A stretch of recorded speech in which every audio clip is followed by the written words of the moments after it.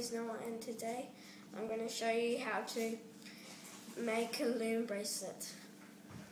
So the first step is you get a band, whatever color you want, and you you spin it around like this and then you go like and then so it makes a shape like this and then you'll get the next band and put it over but not doing the the thing that I did before the thing that I did before you go like this, so it looks like this, and then you get a blue, the colour that you want, actually,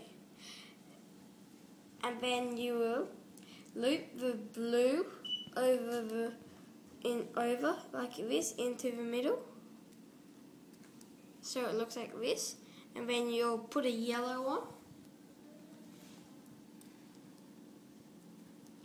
and then like this so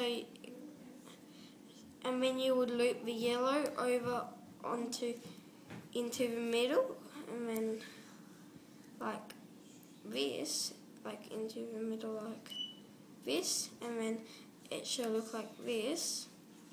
And then if it gets like or like if the blue's over the yellow like that you'll just like put it back down and like you'll get both of them. If it's getting too high you'll get both of the bands and then pull them a bit lower and then it, and then you keep going.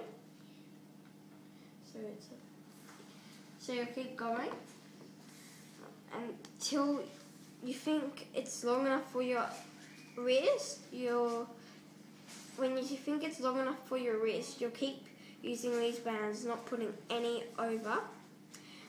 So it should look like this.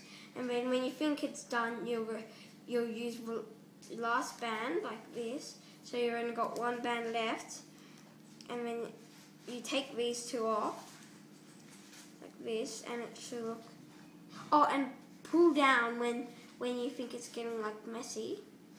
And then you'll get one of these. You'll get something like that. And then you'll hold on to this like this the rubber bands like this so you can get the the thing in the rubber bands. And it doesn't work the first time it doesn't always work the first time. So you got to get it.